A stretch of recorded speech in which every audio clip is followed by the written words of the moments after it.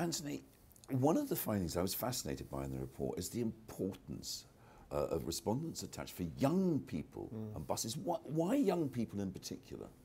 We do a lot of survey work among bus passengers. We talked about 25,000 bus passengers a year across the large English cities outside of London. And that survey group represents bus passengers generally. And it's an amazing fact that almost 50% of bus passengers are under 29. To a very large degree, it's a very young person's product. Mm. Getting to education, first jobs, further job opportunities, bus is clearly playing a very big role. And I think a lot more thought needs to be given about how people can get to education, how they can get to their first jobs in a way that enables them to take up those opportunities. So it's very, very important for young people. And I think the industry would probably recognise it probably could do a bit more thinking about how it deals with that market and how it retains that market perhaps into later life as well. Well, I think um, one of the interesting things about this report actually is the the point that you made around um, the mobility and the sort of people who are using buses to get to work. And so I was really struck. So we've done quite a lot of work on um, youth employment and um, sort of training and apprenticeships. And I was really struck actually mm.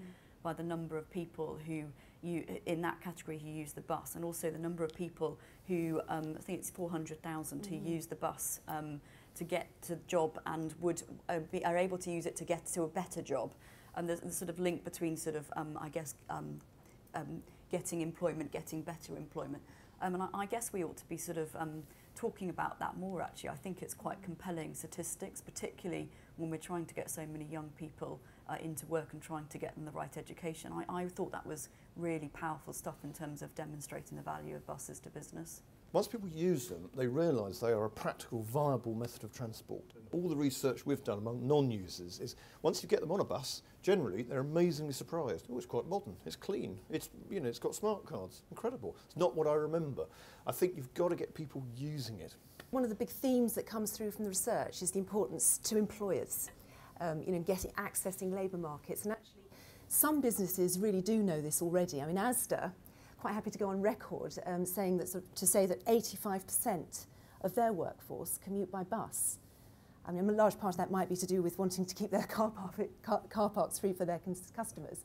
But still, it's, it's a really important, um, it's playing a really important role. And, and you can get there with, we, we have um, the Cobalt Business Park in, in the northeast. It's re relocated outside, well, located outside of the city centre, and they've recognised the only way they can get their employees to work is to sponsor, support, make the infrastructure correct for buses. The number of times that there are public investment in buildings from hospitals to education centres mm. where there is no thought given to how they're going to get people to them.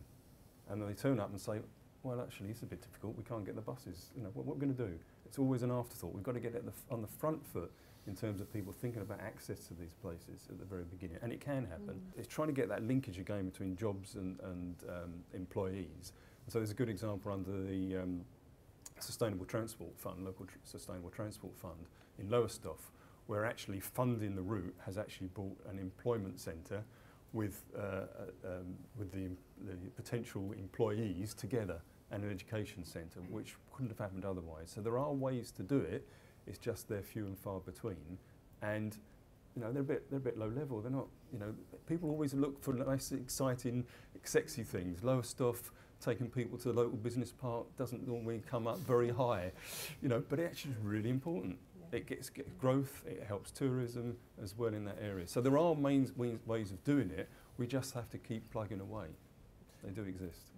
I think it's a very good point because, I mean, yesterday's announcement about the railways is very welcome. We represent rail passengers as well, so that's great. So I don't think it's an either or, but I think you're quite right. I mean, expecting more government revenue support for the bus industry in the current climate is a bit, is quite hopeful probably. But there is infrastructure that can be put in, which is the theme of the moment, and there is kit that can be bought. Mm. Brand new buses are impressive bits of, they're, they're good, people like them.